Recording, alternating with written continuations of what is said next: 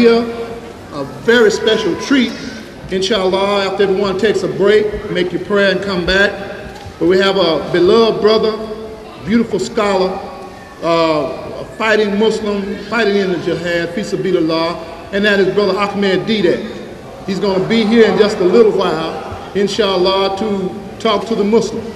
When we heard that it was possible for him to be a part of this uh, dawah effort, uh, the Imam automatically offered that hospitality, the facilities, everything that we could do to be here, make him welcome. Welcome, my brother. Assalamu alaikum. Ahmed Deedat. Allahu Akbar. Allahu Akbar. Allahu Akbar. Allahu Akbar. So once again, we uh, look forward to this. After the Maghrib, inshallah, we would like to uh, come back. Inshallah. Uh, Brother Didat, if you will, greet the people before you go. Inshallah. Uh, meet the Imam.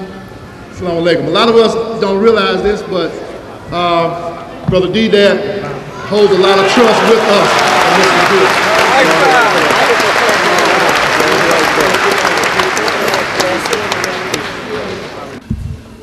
أعوذ بالله من الشيطان الرجيم بسم الله الرحمن الرحيم وإن تتولوا يستبدل قوما غيركم ثم لا يكونوا أمثالكم صدق الله صدق الله المولى العظيم Mr. Chairman and brethren I bring to you peace and salutations from the deepest south of Africa if you look at the map of the continent of Africa, at the southmost point, you will find a country called South Africa.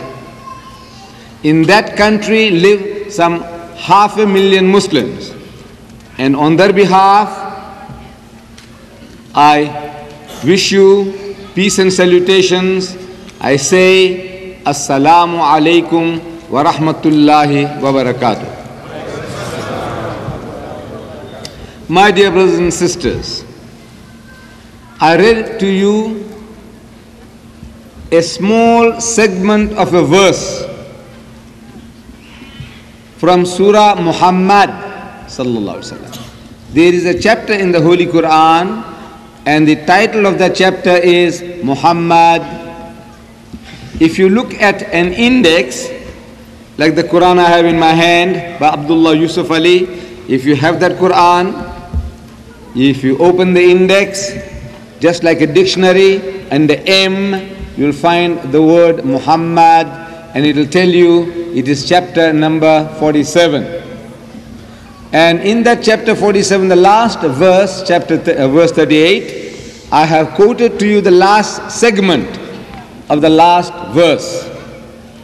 I repeat, Bismillahir Rahmanir Rahim, وَإِن تَتَوَلَّوْا يستبدل قوما غيركم ثم لا يكونوا أمثالكم Allah Bari Ta'ala is addressing us Muslims that, O you Muslims, if you turn back from the duties and responsibilities which Allah Bari Ta'ala has imposed on you for being the khaira ummatin, the best of people.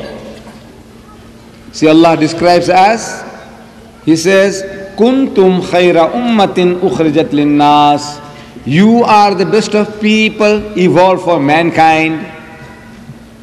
What makes you the best of people? Is it because some of us claim Arab blood in us, or some claim to be Pakistanis, or Pathans, Afghanis, and some from West Africa? What makes us great? What gives us this honor and this privilege, being the Khaira ummatin, the best of people? The thing that makes us the Khaira ummatin is Allah says, ta'muruna bil Ma'arufi wa tanhawna anil munkar, because you enjoin what is right and you forbid what is wrong And وَتُؤْمِنُونَ بِاللَّهِ You believe in Allah. If these are your qualities, then you are the best of people. If you are the best of people, then this honor also puts upon us certain responsibilities. There is no honor without responsibility. The Imam of the masjid carries with him certain responsibilities. The mayor of a town carries with him certain responsibilities. The manager or director of an institution carries with him certain responsibility. So there is no honor without responsibility. If Allah puts upon us this honor of being the best of people, it also carries with it certain responsibility. And that responsibility is that we are to share this honor with others. And in the first instance, the very first people Allah Bari Ta'ala wants us to share this with are the Jews and the Christians. In that very verse, Allah says, كنتم خير أمة أخرجت للناس تأمرون بالمعروف وتنحون عن المنكر وتؤمنون بالله and he continues وَلَوْ آمَنَ أَهْلُ الْكِتَابِ لَكَانَ خَيْرًا لَهُمْ But if the people of the book, meaning the Jews and the Christians, if they hearken to this message, the message of Al Quran, it'll be better for them. In other words, it'll be better for you. Minhumul mu'minuna. Among them there are mu'min, faithful people. Among the Jews and the Christians, Allah says, there are good people. I didn't want to say that. You wouldn't like to hear that. But this is what Allah says. Minhumul mu'minuna. Wa aktharuhumul fasikun. But the majority of them are perverted transgressors.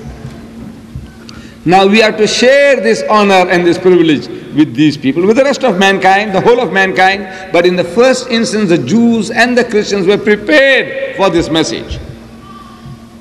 Allah Ta'ala sent prophets after prophets to them. We name them. Hazrat Musa salam, Moses, Hazrat Dawood salam, Prophet David, Hazrat Sulaiman alayhi salam, Solomon, Hazrat Isaac salam, Isaac, Hazrat Isa alayhi salam, Jesus. All these were Jewish prophets. All the prophets, most I will give our children Muslim these names, Musa, Dawood, Sulaiman, Ishaq, all these are Jewish names. Allah chose them in the first instance. But he, he, he is carrying out an inexorable law of his own that once he selects you, he chooses you for certain responsibilities, for certain position of honor, and if you do not carry out your responsibilities, then he says, يَسْتَبْدِلْ قَوْمًا غَيْرَكُمْ He will substitute in your place another people. ثُمَّ لَا يَكُنُ أَمْثَالَكُمْ Then they won't be like you. So in the religious history of mankind, Allah Bari Ta'ala chose the Jews. As I named some of the Jewish prophets, then among the four heavenly books, which we claim to believe in, we say we believe in the Torah, we believe in the Zabur, we believe in the Injil, and we believe in the Furqan. Furqan is the Holy Quran. Among these four books, 75% are Jewish books given to Jewish prophets. Torah was given to Hazrat Musa a Jew. Zabur was given to Hazrat Dawud alayhi salam, a Jew. Injil was given to Hazrat Isa alayhi salam, a Jew. Jew, Jew, Jew. 75% of the heavenly books that we affirm we believe in are Jewish books, sent to the Jews. But Allah's law, Allah chooses a people for a certain purpose. See, he chose the Bani Israel. As he says, Ya Bani Israel, askuru ni'mati allati anamtu alaykum. Say, O children of Israel, remember the special favors which I did unto you. Wa anni faddaltukum alal alameen. That I preferred you above all the peoples of the earth for my special favors. He chose them. But they didn't carry out their responsibilities. They made the religion a racial religion. You have to be born a Jew to be a Jew. They don't want you. So a Jew among the Jews, Hazrat Isa alayhi salam, according to the Christian record, he's telling the Jews, he says, the kingdom of God will be taken away from you and given to a nation bringing forth the fruits thereof. You don't fulfill your obligations, you don't produce fruits, then Allah will take away that honor, that privilege and give it, give it to somebody else. And whenever He does that, Allah Bari Ta'ala, when He does that, when He substitute one people by another, it is usually the people you look down upon. He makes them to sit on your head. This is His way. You see, the Jews were looking down upon the Arabs, their cousins. They say that Father Abraham had two wives, Sarah and Hajra.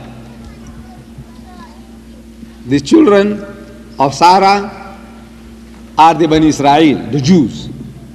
And they say that the Arabs are the children of Hagar, Bibi Hajara. They say Hagar. They call her children Hagarenes. Now they call Islam Hagarism. These are new, new terms they are inventing to hurt our feelings. They call the Arabs Hagarenes and Islam, the Muslims as uh, Islam as Hagarism. This is in the Christian literature. People that they look down, down upon. That these Arabs are the children of Hajara, who was, they say, a bond woman, a slave woman, a woman from Africa. Actually, she was a princess of Egypt. But the Jews, in their hatred for their cousins, they label, they have been labeling the other prophets and their progeny, and they will not leave out their Arab cousins. So say these are the children of the bond woman, a slave woman. And as such, yesterday in New York, a Christian woman came for that question time and she made certain insinuations saying that Hazrat Ismail salam was a bastard. Astaghfirullah. And she went on beyond that. She said everybody is a bastard, including herself, of course. But uh, you see, the hatred makes them to speak like that. See, they say that Sarah was the legitimate wife of Ibrahim salam, but Hajara, because she was a bondwoman, a slave woman, a marriage contract had not taken place. As if, you know, uh, three, four thousand years ago, they went to court like you go today, or go to a church and in front of a priest, you know, do you accept this woman as your lawful wedded wife? And you say, I do. And they were supposed to go such, through such processes, which was not the case. But however, God Almighty chose Ismail salam and his children. From among his children, Abiya Nabi Kareem sallallahu alayhi wasallam, the Holy Prophet Muhammad, to supersede the Jewish hierarchy of religion. Yastabdil qawman ghayrakum. The people that they were looking down upon, Allah Bari Ta'ala makes them to sit on their heads. This is His law. We come nearer in the Middle East during the time of Harun al-Rashid, Mamun al-Rashid, Baghdad, Samarkand, Bukhara, they made it a veritable fairyland. The Muslims. It was a veritable fairyland. Scenes that existed then, you can't reproduce them anymore except on films. On films you can do anything. Hollywood can do anything. But in real life, no more. No Baghdad, no Samarkand, no Bukhara. On the borders of our Muslim empire were the Mongols. Mongols. You know, barbarians. Jahangir Khan, Halaku Khan. Barbarians. And the Muslims watching them on the borders as these barbarians, what can they understand about Islam? What can they know? They were not interested in propagating the faith. So Allah Bari Ta'ala, as if commanding them to go on, put them into the dust and they attacked the Muslim empire and down into the dust. Ruin. The shocks, the shocks that the Muslim world received at the hands of the Mongols, we have not come out of, out of the shocks yet. Yastabdil qawman khayrakum. So Allah says, I will substitute in your place another people. ثُمَّ لَا يَكُونُ أَمْثَالَكُمْ Then they won't be like you. The Muslims ruled Spain for 800 years. There again, they had a wonderful inning, a jolly good time. 800 years. No Christian nation has ever ruled Muslims for that period of time in the history of mankind. The longest that the Christians ruled Muslims is in Mozambique. Mozambique, you know, Machel. He just met with an accident and he died. Machel, Samora Machel, Mozambique, old Portuguese territory. See, about 500 years ago, the Portuguese, with the superior gun power, conquered that territory. The ruler at that time was Musa bin Baik, an Arab who was in charge of that settlement. Musa bin Baik. The Portuguese couldn't say Musa bin Baik, so they say Mozambique, Muslim territory. Even after 500 years of Portuguese rule, 60% of Mozambique is Muslim. So the longest they ruled, ever ruled, was at that place, Mozambique. We ruled Spain for 800 years and we didn't do our job. We didn't do the job. The Muslims. They were looking down upon the people in Spain that these pig eaters, wine bibbers, what can they understand about Islam? They couldn't. He says, no, they can't. Your forefathers could. Your forefathers, the Arabs' forefathers I'm talking about. Drunkards, adulterers, gamblers. They married the stepmothers. They buried the daughters alive. They could be transformed by this Allah's kalam. But the Spanish people, no. 800 years, you know, of enjoyment. Allah Bari Ta'ala describes the scene. He says, Kam taraku min jannatin wa uyun. So how many were the gardens and the fountains they left behind? Wazu'in wa makamin kareem. And cornfields and monumental buildings. Ni'matin kanu fiha fakihin And wealth and the amenities of life in which they took so much delight. فما بقت عليهم السماء والأرض وما كانوا منذرين. It says, when the power was wrenched out of their hands, neither the heavens nor the earth shed a tear for them, nor was respite given to them anymore. Finished. Just tabdil qawman ghayrakum. After 800 years of Muslim rule, there was not one man left in that country to give the azan. These very pig eaters and wine bibbers wiped out the Muslims one thoroughly. Not one guy was left in the country to give the azan. Imagine. After 800 years of rule, not one man left behind to give the azan. Allah's law. يَسْتَبْدِلْ قَوْمٌ غَيْرَكُمْ He says He will substitute in your place another people.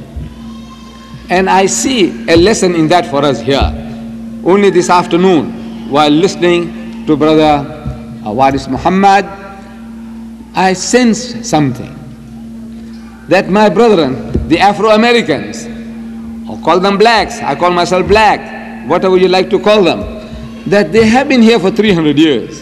And what the Christians did to them in these 300 years, the enslavement, they, they destroyed their language, they destroyed their culture, they destroyed the religion, everything gone. They couldn't even remember their, their past, their motherland, unless a man like uh, Haley, he goes and?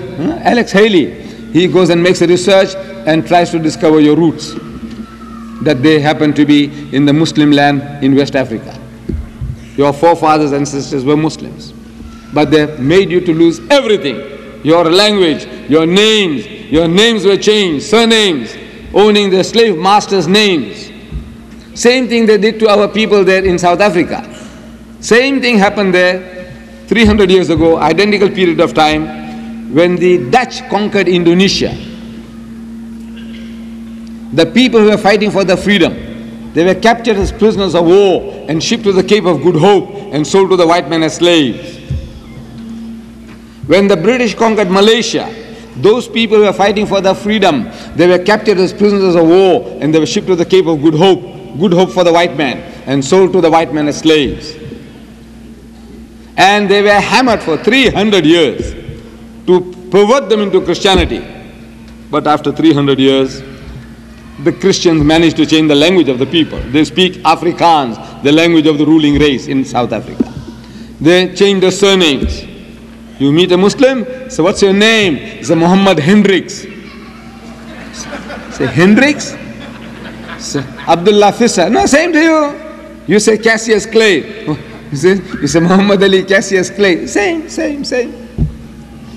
You see, says, what's your name? He says, Ismail Fenta. So what is Fenta? This is Abdullah Fissa. What is Fissa? And you have the Smiths there among them and the Fantondas and everything among the Muslims of the Cape. Same situation that the, they're bearing the slave master's name. They lost the language, they lost the culture, they lost the names, but they retain Islam. After 300 years of hammering, they turned out to be one of the most militant Muslim communities in the world. And I was boasting. Wherever I went, I said, My people, not immediately my people, we are about half the Muslims there are from the Indo-Pakistan subcontinent. The other half from the Far East. I'm talking about my brethren from the Far East. They were hammered. We were relatively safe. But they were hammered for 300 years. And after 300 years, I'm boasting that the most militant Muslim community in the world is the Malay of South Africa, Muslim Malay of South Africa. But after coming in 1977, to your great country. And being in the mosque uh, in Chicago, I came across the brothers there, and then I realized that we were coming second best. So I said the most militant Muslim community in the world is the black Muslims of America. And, and we are not ashamed to say we come out close second. But now this is the destiny Allah has in store for any people. You, we look at this scene two, after 2,000 years of Christianity, what the Christians had done to my people, my brothers and my sisters. And if Allah Bari Ta'ala wants to effect a change, who will He use? Not a superpower like Russia. Suppose she invaded the country and made everybody communist. So, what wonderful thing have they done? You know, says one atomic power against another, one nation against another, wipes out half the nation and conquers the other half and perverts them into their way of thinking. Make them communist, make them atheists, or whatsoever. What great thing have they done? Nothing. But if a people who are counted as nothing, as rubbish, treated as rubbish for this past 300 years, if that nation can conquer, Allah has done something. This is Allah's word. Because from all human explanation possibilities, we know it's an impossible thing for the Muslims, the black Muslims of America, to change 200 million Americans into Islam. It's an impossible task to our minds. But Allah Bari Ta'ala can do the job. This is His law. He says, يَسْتَبْدِلْ قَوْمًا غَيْرَكُمْ So He'll substitute in your place another people. ثُمَّ لَا يَكُونُ أَمْثَالَكُمْ Then they won't be like you. And I see in this verse a future for the Muslims of America. Now, what is required is the right weapons. I'm not talking about guns and bombs. You know, with that, you can't go very far. And even if you had it, suppose somebody sends you this laser guns. He said, Look, man, go along in America, threaten the people that if you don't accept Islam, we'll blot you out of, the, of, of, out of existence. Allah will not allow you to do that. It's like Rahafiddin. There is no compulsion in religion. It's out, discounted. But we are still to do the job. Allah says, لِيُزِهِرَهُ عَلَى الدِّينِ كُلِّهِ He says He's given you a deen that is to master, overcome and supersede them all. كُلِّهِ وَلَوْ كَرِهَ الْكَافِرُونَ He said, never mind how much the unbeliever might not like it. This is the destiny of his deen. The deenullah, deen al-Islam. He repeats the same formula another place in the Quran and he ends by saying, Walau al mushrikun. He said, Now, man, how the mushriks might not like it. This is the destiny of his deen to master them all, overcome them all, supersede them all, bulldoze them all. Walau al mushrikun. Now, man, how the mushriks, the associators, the pagans might not like it. Those who associate gods with God might not like it. This is the destiny of his deen. And he repeats the same formula again, the third time in the Quran. He says, هُوَ الَّذِي أَرْسَلَ رَسُولَهُ بِالْهُدَى He it is who has sent his messenger with guidance, وَدِينِ الْحَقِّ and with the religion of truth. لِيُزْهِرَهُ عَلَى الدِّينِ كُلِّهِ That it may prevail, overcome and supersede every other deen, whether it be Hinduism, Buddhism, Christianism, Communism, Judaism, every ism. Islam is destined to master them all, bulldoze them all. وَكَفَى بِاللَّهِ شَهِيدًا and enough is Allah as a witness to this fact that is going to make his deen to prevail with you or without you. But it's an honor and a privilege he's giving us, rubbish that we are. Everybody's football. That's what we are. Everybody's football. Everybody's footballing us. Everybody's doormat. They're making us into doormats. They're making nests in our heads. But Allah Bari Ta'ala, this is not the destiny He has for us. The destiny is as He says, لِيُزْهِرَهُ عَلَى الدِّينِ كُلِّهِ It is for us to wake up and go to town. Allah has given us that intelligence, that knowledge, that truth which can bulldoze all falsehood. Now to do that, my dear brothers, you see in your environment, in the American environment, you will have to give battle to the book. You see, the battle actually is between two books, the Quran and the Bible. You see, the Christian says that the Bible is God's word. We say that the Quran is God's word. That's the battle. The Christian is not prepared to give a hearing to this book because at the back of the mind they are prejudiced, they are brainwashed from childhood with so many prejudices against Muhammad and Islam. So when he comes to us or when we talk to him, he's always coming out with the Bible. He says, My Bible says this, my Bible says that, my Bible says this, my Bible says that. So we are forced into a situation where you will have to deal with the Bible. There is no other way. You have to grapple with it. What is the Bible? And believe me, the bulk of the Muslims of the world, I, am sure not so here in America, but the bulk of the Muslims in the world, in the Middle East, in the Far East, you know, in my country, the Muslims know nothing about the Bible. They know nothing about the Bible. They, I, I start um, at times, I've gone to the Middle East and I've delivered talks on subjects like what the Bible says about Muhammad what the Bible says about Muhammad. And the translator, a doctor, a very learned man, a professor of Arabic, he's translating for me and he's telling the people what the Torah says about Muhammad in Arabic. I can understand when he's translating what he's saying, what the Torah says about Muhammad. I say, I didn't say Torah. So he changes. He said, What the Injil says about Muhammad. I said, I didn't say Injil. I said, What the Bible says about Muhammad. He doesn't, he can't find a word. You see, I said the word Bible comes from the Greek word biblos, which means a book. Bible means a book. So, Holy Bible means holy book. Translate it so. Don't say Torah, don't say Zabur, don't say Injil, because I didn't say Torah, Zabur, or Injil. He's at a loss, poor chap. But I'm sure you, my brothers and sisters, are better informed than that. Now, you know that the Bible is not the Word of God. I will be proving tomorrow in Baton Rouge, you know, to my audience, inshallah. And uh, if we can, by Allah's help, you know, subdue this big shaitan, big shaitan. No, no, we must give credit. Look, we must give credit where credit is due. He is really big shaitan. I was in Sharjah, Sharjah, the Sultan, Dr. Sheikh Sultan Qasimi. You know, I went to see him and I showed him this poster. And when he saw the picture, he told me these words. These are his words. This is, this is big shaitan. I said, How do you know? You people in the Middle East, what do you know about this big shaitan? He says, No, I was in America and I was fiddling with my TV and this guy came on. and he says, I was spellbound. You know, this guy said, even if he's swearing your mother, you can't switch him, switch him off. If he's swearing your mother, you feel like breaking the screen, you feel like breaking the TV set, but you can't switch him off. Allah gave him such powers. You know, that charisma. He mesmerizes people. He hypnotizes people. He can make people eat out of his hands. Like a puppy, you'll have to go to him and lap it out of his hand if you were a Christian. So guy is a master, orator. Fantastic.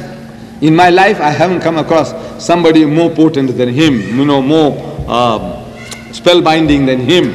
I haven't. I have watched his TV on video. I've got his books. I'm reading his books. You got to. See, if you go into battle, you don't go with your eyes closed. You must know what you're bargaining for. You must know your opponents, how strong they are. You just don't go in and say, now anyhow, you know, Allah is with you. We know Allah was with us in 1948 and we got a good beating in the Middle East from the Jews. He was still with us in 56 and we got another beating.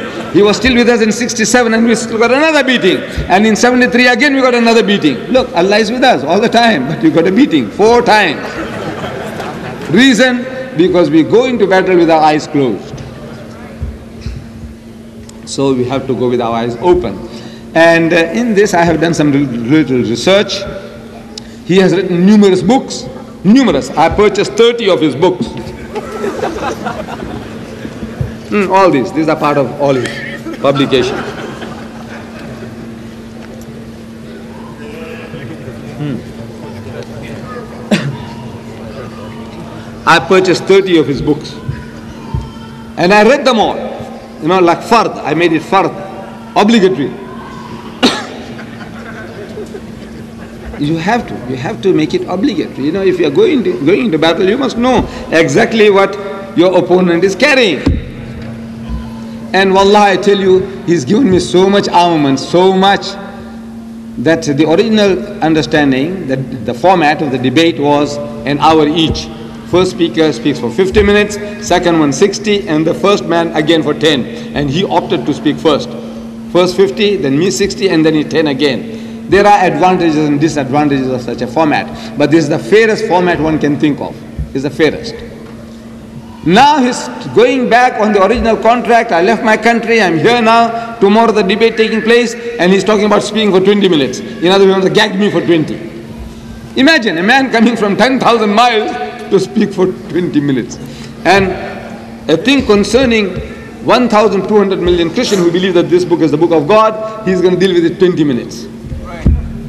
Reason, you might, you might be able to guess, is the guy is terrified. You see?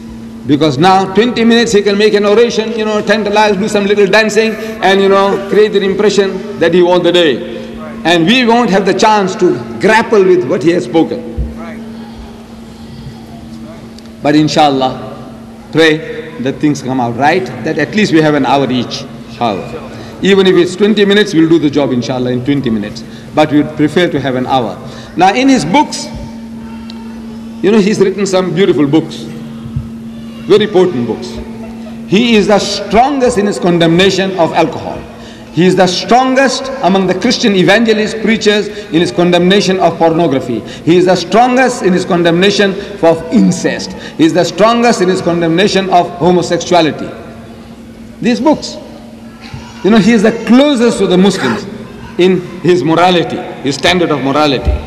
He falls a little short and his theology is off the target, is off the mark his theology, understanding of God. But otherwise, the man, you would say, he's the closest to the Muslims in his condemnation of all these evils. In his book on incest, which I might, if I have chance to use, I will use, to prove that the Bible is not the word of God. Incest. He says incest in America has become of epidemic proportions. Incest. I wonder if you all know what incest is. You do know. I don't have to explain to you. In the Middle East, I had to. See, I asked the people, how many of you don't know the word incest? And, you know, about half of them, they used to put up their hands. They never heard the word incest. You know, it's not in our common usage. So I had to explain what incest is. But I take it that the American people are better informed than people in the Middle East or in India or Pakistan. You see, in his book, he gives us 10 cases of incest from the Holy Bible. That in this Bible, there are 10 cases, 10 different couplings of incest in this holy book, the Bible. So it, it does shock a person. What is it? Is this a textbook on incest? That if you want to know how, what, to, what, what can you do to commit incest? Like it tells you in the first book, in the first book of the Bible called Genesis, I knew about four cases of incest. In his book, he gives me the fifth one. So he's my teacher. He educated me one more incest than what I knew. Father and daughters getting together night after night. And the father made the daughters pregnant, and both of them gave birth to a son each. One was named Moab, and the other one was named Ammon, from whom we get the names Ammonites and the Moabites in the Bible. Children of Lut salam cohabiting with his daughters. Then Genesis chapter 35 verse 22, it speaks about Reuben, one of the sons of Yaqub alayhi salam. He go and cohabits with his mother on the roof. And Israel was told that your son with his mother. And he didn't even say oof. He didn't even say ah. He didn't even say Imagine. The man is told that your son did this to, to your wife. Your son did it to your wife, his mother. And he didn't even say, he said, Nothing. Then he speaks about Ibrahim alayhi salam. They say that he cohabited with his sister Sarah, was his sister. They say, Genesis chapter 38 speaks about Judah, the father of the Jewish race, from whom we get the word Judaism, we get the word Judea, Huda, Yehuda, Yehudi, Judah. That Judah is going to Timnah to share his sheep and he sees his daughter-in-law sitting by the wayside and he comes up to her and says, allow me to come in unto thee. This is biblical language, the King James Version. Jimmy Swaggart loves this version, King James. So I'm quoting from the King James Version. He says, allow me to come in unto thee. I'm only quoting the Holy Bible. So she said, what will that give me? He said, what, in other words, so he says, I will give you a kid from the flock, a baby goat. So she said, What guarantee that I will give it? Suppose you enjoy and you go away and I don't see you again. What will you what guarantee is this? What guarantee do you want? So it says your signet means your ring and your bracelet means I had a bangle in his hand and a staff, the danda, you know, rod of Moses. Asa. So the old man gave it to her and he cohabited with his daughter-in-law by the roadside and made her pregnant. And she bore twins, Fares and Zara. There's a long detail about it. Long story. Very spicy reading. I didn't know at one time that all these things were in the Holy Bible. I was looking for the other books, you know, called The Arabian Nights, the unexpurgated edition by Fitzgerald. And I got it and I read it, you know. But I didn't know that for two and six, 25 cents, I could have got the Bible and I could have got something more spicy than in the Arabian Nights. I didn't know that. You must know. You see? So, 10 cases of incest in the book of God. Book of God? For, for what purpose is God telling you all this? That father and daughters, father in law and daughter in law, brother and sister, son and mother. For what reason? Why is he telling you all this? Now, the type of stories that you read naturally creates the type of mentality that you have. This is a foregone thing. If you eat junky foods, you become a junkie. If you read filthy, dirty stuff, your mind becomes filthy and dirty. And he says that. Who? Jimmy Swaggart. He's written a book on pornography and he's telling us that this acts like a drug. Pornography acts like a drug.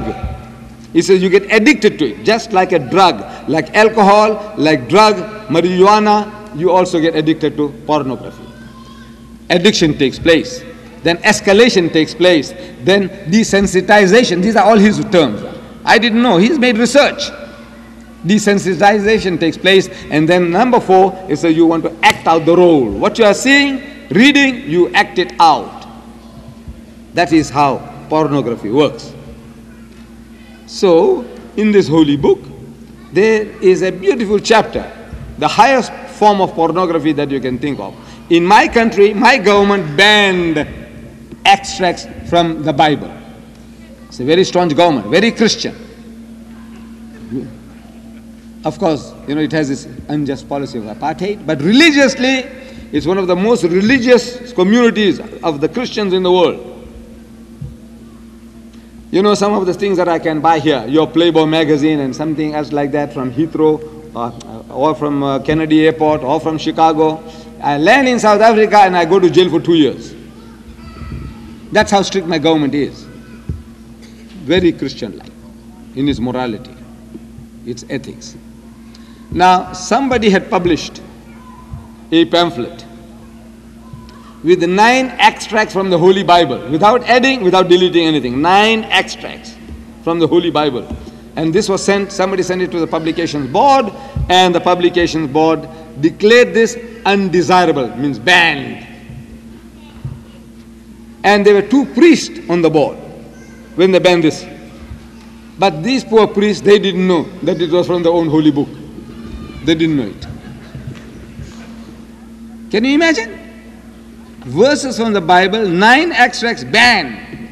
My country, for one word, a one four letter word, they had banned a book called Lady Chatterley's Lover. One word, one offensive word. For 20 years, the book was on the banned list. They have rebanned it. Now they're grown up now, more mature.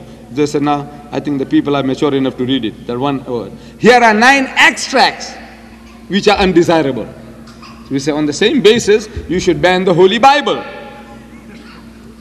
But of course, you know, they, they live by it, they take an oath by it, so it's very, very difficult. But they have done the job. They've given it to us that this is undesirable. Pornography of the highest order. George Bernard Shaw, a British playwright, he says it says the most dangerous book on earth is to keep it under lock and key. Your children must not have access to it. The Plain Truth magazine, you know, the Armstrong family, here, American, American. They are printing 8 million and 80,000 a month for free distribution. The Armstrong family, Plain Truth. They, in one of the magazines, they say that many a censor will give this Bible an X rating cross. Many a censor. Book of God. Is it the book of God? I dare any Christian, I say, come, come forward and read it to your audience, to your, to your congregation. Read it. No decent man can read it to his mother, his sister, his daughter, or even to his fiancée if she is a good woman. You can't read it. If God Almighty was not ashamed to reveal such filth and dirt, I am asking, why should you be ashamed? Are you holier than God? Can you ever be holier than the Almighty? Can you be? That's what it means. If God spoke those things, wrote those things, dictated those things, which I dare not read it to you, because I know you will never forget. Even in a thousand years, you'll remember says Uncle Deedat was a filthy, dirty fellow. That old man came here and what, what words he uttered, not, not realizing that, oh, I was only reading from the holy book of the Christians. I, it's not my words. But you will not forgive me. I know you can't forgive me. Because you'll, you'll make an indelible impression on your mind. His Uncle Deedat's lips, you heard the words. Book of God, Book of God, that you are ashamed to utter to your congregation? He says, no. So there are cases and cases, you know, from his own writings, which we can prove that, look, this is not the book of God. He speaks about alcoholism, book on alcohol. In that he says that there are 11 million American drunkards 11 million drunkards in America and 44 million heavy drinkers. And he says, and I agree with him, he said, I see no difference between the two, between the drunkards and the heavy drinkers, which means 55 million drunkards according to Jimmy Swaggart. I say, brother Swaggart, you must also add this, your social drinkers. Because Islam says, teaches that whatever intoxicates in greater quantity is forbidden even in smaller quantity. That's what the Holy Prophet Muhammad said. So there is no excuse for a nip or a tot. So if you add those, you also your social drinkers, 100 million drunkards. You haven't got the answer. Because your preachers, he's complaining himself that the preachers, the evangelists, the Bible thumpers, the hot gospelers, he said they are not you know, taking sides on this problem. He said at a, a church, uh, at a conference of the preachers, these evangelists, Bible thumpers like himself, he said the conference is somebody suggested that let us all, those who are opposed to the community, the congregation imbibing alcohol, please stand up. And he says nobody stood up. Nobody stood up. Which means they were all opting for drink.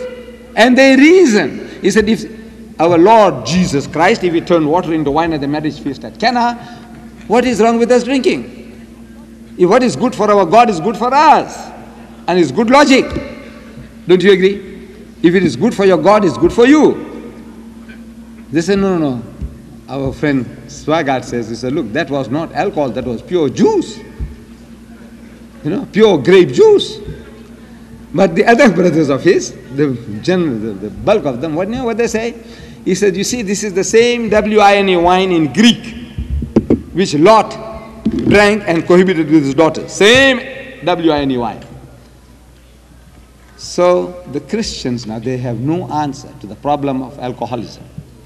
Simply because it is not in their book. The only book on the face of the earth which says, Don't touch that devilish stuff is Islam. Islam has a solution to all the problems. Wallah, to all the problems, we have it. We must try and save these people from the, the, the mire in which they are. Last June or the June before, 300,000 sodomites, Qawm Lut, they gathered in San Francisco on a pilgrimage led by 50 lesbians on motorcycles. That nation is harassing the world, harassing our people. At the present moment, out of the world, 70,000 missionaries, crusaders, 60% are Americans. I worked it out, 42,000 Americans are raising the dust throughout the world while in their own motherland, in their own homeland, they are deep in the mire with the sodomites with the surplus women in, in New York next door. I am told by your statisticians, they say there are one million more women than men. If every man in New York got married, there will still be a million women who can't get husbands. And of the manpower you have there, one third are gays, sodomites, Qawm. Can you imagine the mess you are in? There are 7.8 million more women in America than men. That is if every man got married, which will never happen. You know, men get cold feet for so many different reasons. Then your prison population, 98% are men. Then something happens at the weaker sex, you know. You find more widows than widowers. You know, men seems to die more. There's something amazing taking place at childbirth, as if nature is trying to take revenge on man for his cleverness. He's too damn clever. Says, right. Allah says, I'll fix you up. At childbirth, I'm told that the average ratio of males to female is 50 to 50, 50% each, equal. But in child mortality, more males die than females. Do you know that? The stronger sex, the boys, the boys, they die more than girls. Why? I don't know. Nobody can explain. We say we are the stronger sex. Who? The male. More males die in, in child mortality. Anyway, everywhere in the world. More males die than females. Disparity. Wars. More men die than women.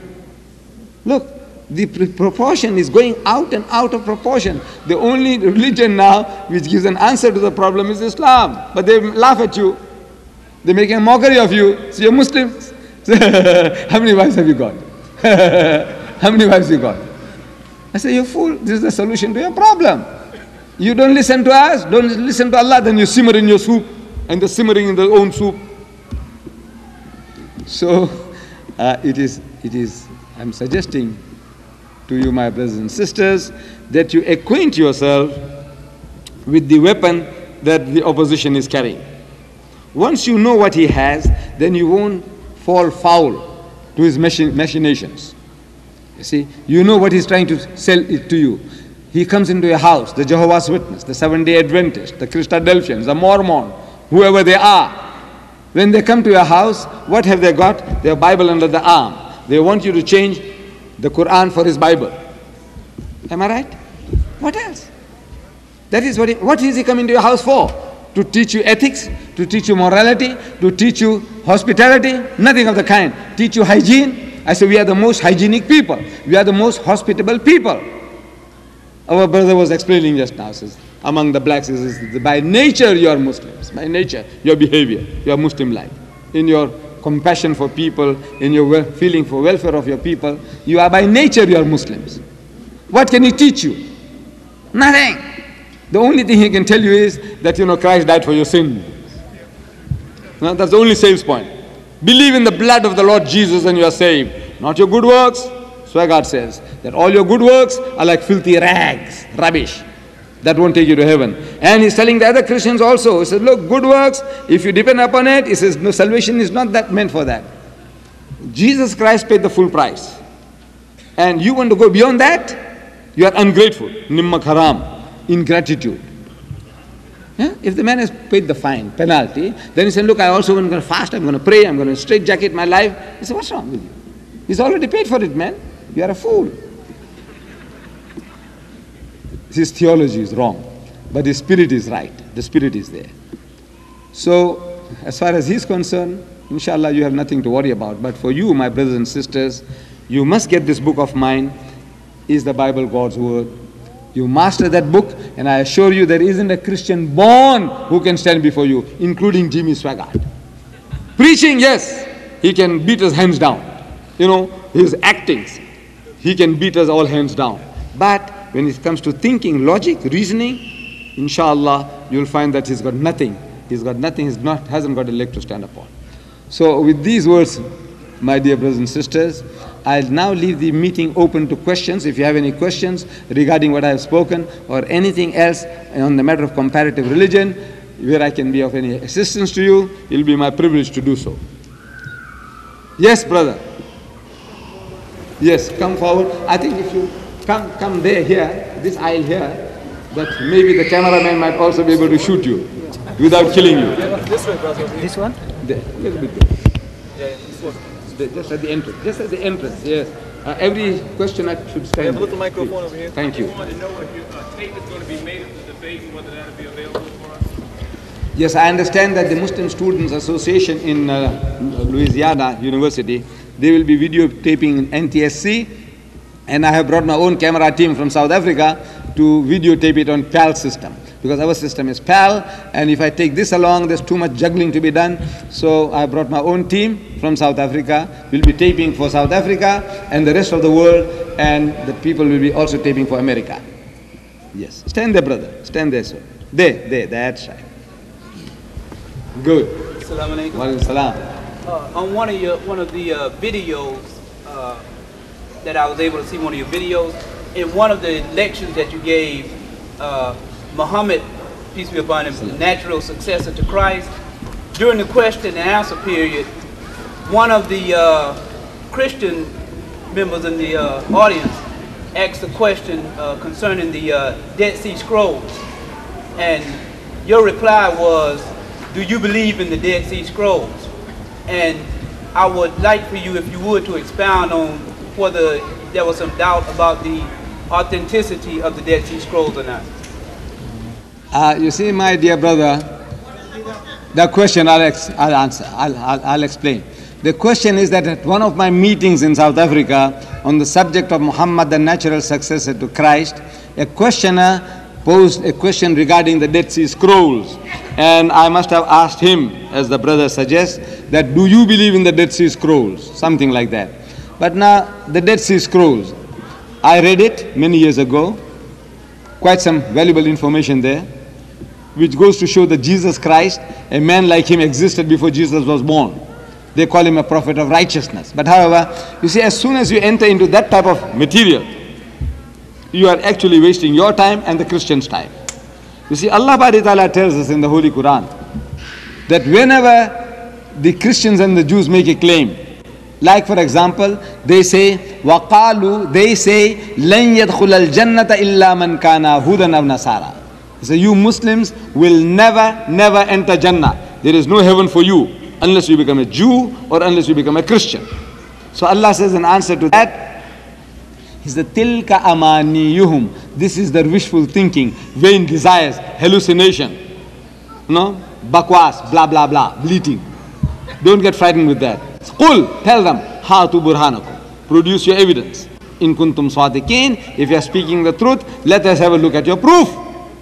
So they produce the proof, the Bible, in 2,000 different languages.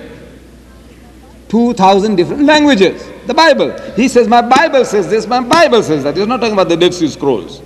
He doesn't say the Gospel of Barnabas says this. He says, My Bible says this, my Bible says that. Allah says, Kul hatu burhanakum. So they produce the Burhan. So deal with this. He accepts this, not Barnabas. He doesn't accept Dead Sea Scrolls. Then why are you wasting time with Dead Sea Scrolls and Barnabas? This is what he holds in, under his arm. Deal with that. Is more profitable, better returns.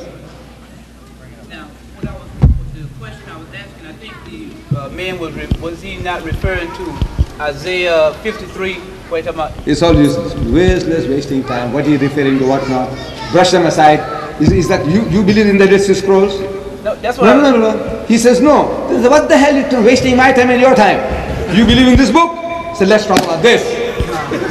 Right? Fair? Is that a fair way of dealing with it? But, okay, that's the question. Now, is not the uh, some of the text from the book supposed to be taken from the uh, Dead Sea Scrolls? Why this Is it Dead Sea? Why? Let it be dead, man. Let it remain in the Dead Sea.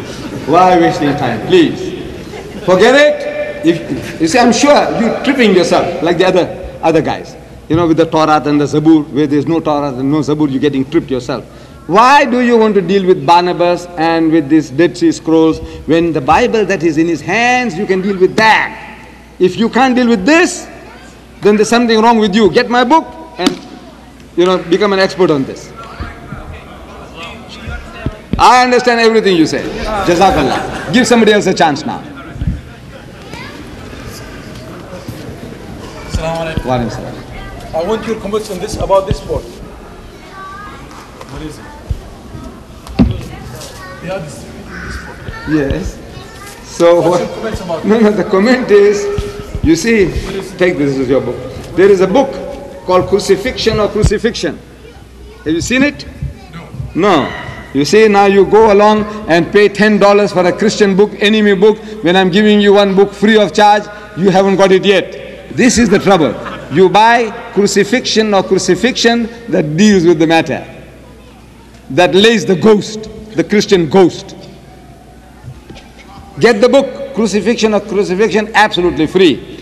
But now you'll be able to get it from brother, um, brother, um, brother Hamid Ghazali from Lawrence. But please uh, think, please think of sending some postage money because look, the book, books I sent free from South Africa, but it's killing the man. You know, putting writing for you, putting envelope, putting the stamp. At least if you can consider that, it'll be very good. But the book is free. That one, I'm sure you must have paid more than five dollars for it. Yes. Ear- Earlier in your lecture, you twice referred to Muslims here in America of African ancestry as black Muslims. Would you explain? Would you clarify? No, that is what, you see, I didn't know what to call my brothers. Wallah, I didn't know. There was a time when I had no connection with my brothers here, I used to call them Negroes. You know, talking about the Negroes, the Negroes. And when I came here, they said, no, they don't like the word. They like the word Bilalian. So I started calling Bilalian, Bilalian. Some say, no, you see, we prefer to be called blacks. You see, we are proud to be black. So I said, well, I'm also black in South Africa. You see, I'm also black. So when I call you black, I'm not insulting you because I'm also black.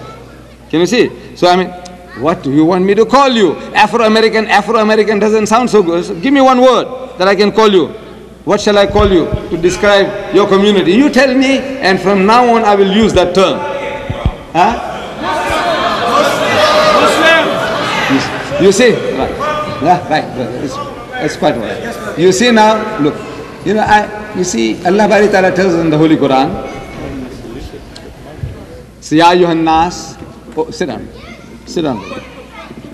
Uh, There is a Muslim in America of African ancestry who considers himself black Muslim.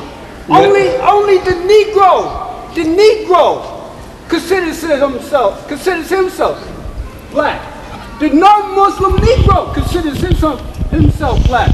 But the Muslim in America of African ancestry, he don't consider himself, himself a black Muslim. No, I didn't say black Muslim. I said black. I didn't say black Muslim.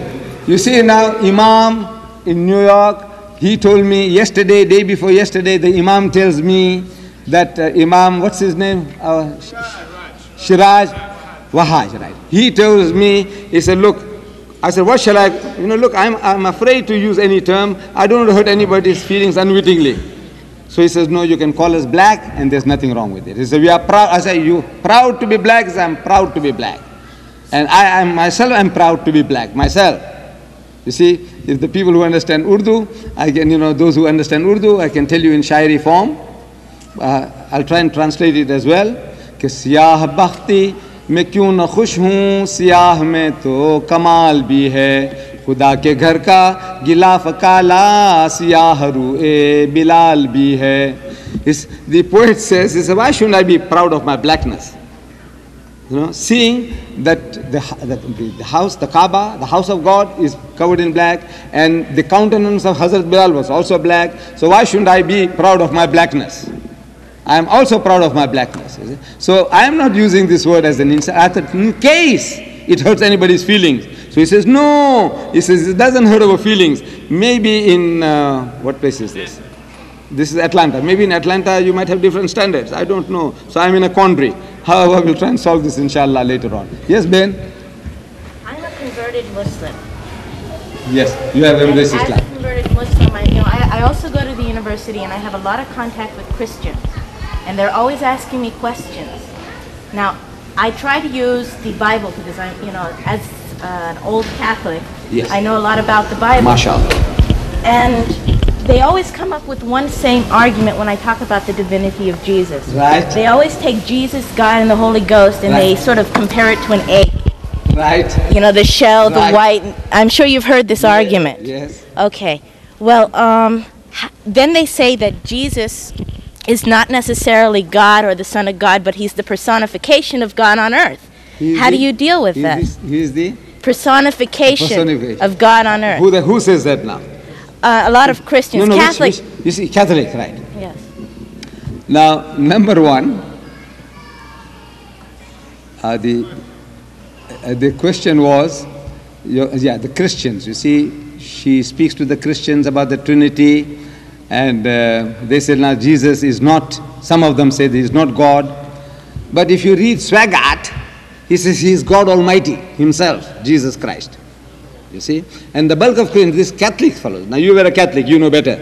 You see, the Catholics say the Father in the Catechism, the Anglicans, the Lutherans, the Presbyterians, the Catholics, this is all the Catechism says the Father is God, the Son is God, and the Holy Ghost is God, but they are not three gods but one God. It continues, the Father is Almighty, the Son is Almighty, and the Holy Ghost is Almighty, but they are not three Almighties but one Almighty. It continues, the Father is a person, the Son is a person, and the Holy Ghost is a person, but they are not three person but one person. So I, I, I, deal with them. I say, look, wait a minute. What did he say? Person, person, person. But not three person, but one person. I said, what language are you speaking? Sounds English, but that's gibberish. That's not English. Person, person, person. I said, what is a person in your language? If you and your two brothers are identical triplets, if one of you commit murder, can we hang the other? He says,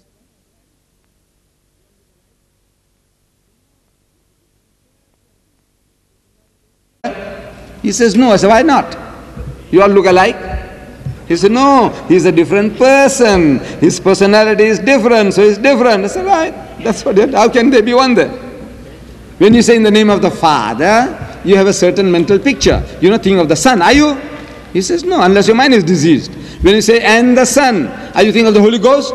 No, and yes, unless your mind is diseased. Then where did you get it? Where did you get this? This Trinity he'll quote you. First epistle of John, chapter 5, verse 7, where it says, For there are three that bear record in heaven the Father, the Word, and the Holy Ghost, and these three are one. That is the closest approximation to the Holy Trinity, which is now thrown out of this Bible. Thrown out as a fabrication in the RSV, Revised Standard Version, which is the most up to date Bible today in existence, going back to the most ancient manuscripts, is thrown out as a forgery, as an adulteration. So that's how good your, your dogma of the Trinity is. Your belief is based on a fabrication. Jesus Christ never preached it, nor is it in the Bible. The word Trinity is not even in the Bible. Yes, my brother. trying to figure out what is the, uh, the, the, the, strategy of the Jehovah Witnesses because uh, due to the fact that they uh, most of their converts within they uh, more or less uh, program them to whereas they, they can't read no other, other religious religious literature, you know, and they can't attend uh, interfaith worship uh, interfaith worshipers. So I'm trying to figure out what kind of strategies they use on uh, on their followers. Uh, would you know anything about that? And uh, my second question was that uh, uh Jimmy Swaggart, even though you have said some good things about Jimmy Swaggart, but he he have occasionally sometime in in his uh speeches where then he has said derogatory things about Muslim, and I seen see you, you seem to think you speak real highly of him. So, and uh, yes. No, I'm trying to figure out. It seems like it's a brother. contradiction in, in Jimmy Swaggart because uh he he have he have sided with the Jews against the Muslims in in, in, in certain areas like in Palestine and uh Yes, yes. No, I didn't talk about his preaching, that what he believes about Israel is right. What I said was that the guy was a master orator. He was a great mesmerizer. Look, I didn't say that his teachings are right. What he believes is right. I'm telling you, I said, look, his theology is wrong. You see, his condemnation of alcohol is right. His condemnation of incest is right. We agree with him. Can you see? So you can't say no because he says that you know alcohol is bad, so we must say no, it is good. No, we can't. If he's condemning it, we say we are with you. We are with you. But that doesn't mean you agree with his theology or his attack on Islam or the Holy Prophet. But you must acknowledge that the guy is a great orator. That is what I was trying to say. Not that the guy, what he says is true. With regards to the Jehovah's Witnesses, you see, they are today claiming that the second largest group of Jehovah's Witnesses in the world is outside the United States, is the Muslim country of Nigeria. And that's a fact. They are the hardest working people, the Jehovah's Witnesses. We must also take off our hat to them. You see, five times a week they gather in the kingdom halls. They are the fittest people to give battle to the other Christians, and they are the fittest Christians to give battle to us. Why? Because they practice five times a week. We are supposed to be practicing five times a day. The Quran, computerized, but it's like water in duck's back. Therefore, we find ourselves in this position. You see, we are supposed to be reminding ourselves about duties and obligations which Allah puts upon us, His instructions to us, five times a day. That guy is doing five times a week and then he's the fittest fighter. We doing five times a day and there's no sign that you know we have benefited from our salat. In other words, we have imbibed the lessons. We haven't. So the thing is again that we have to acquaint ourselves when we are reading, try and understand what we are reading so that we get programmed with that instructions that we can carry them out. Then we can also become fit, fitter than the Jehovah's Witnesses. He, what he does five times a week, we are doing five times a day. We should, ought to be. Yes. Imam, I wanted to question your uh, position on polygamy. It, Uh, now this, uh, excuse me, this will be the last question. You don't mind. We still have to go to Baton Rouge. We have to take a little bit of a break. You know, we have a big battle ahead of us tomorrow. So please excuse me. Not we are trying to run away now. You know, because otherwise you are here. This is your hometown. You can go to sleep anytime you like. We still have to catch a plane. We are on the waiting list. What do you call that? Standby. And we don't know what happens. We are in suspense. Please give us a little break. This will be the last question. Alhamdulillah. Yes. In this country, the, the law as well, the, the, the communal law as well as various religious law places uh, very great interest on not having more than one wife. Right. Polygamy is illegal. Right. And our nation has taken on the- the understanding of Quran to be that Allah says if you have more than one, that you should treat them equally, which was the challenge because if you had more than one, you, you could not treat them equally. And if so, then how? Yes. You see, with regards to the law, you know, the law that he has made, we have to reason with him, talk to him. I says, you know, you, you Americans and you British, you have legalized sodomy.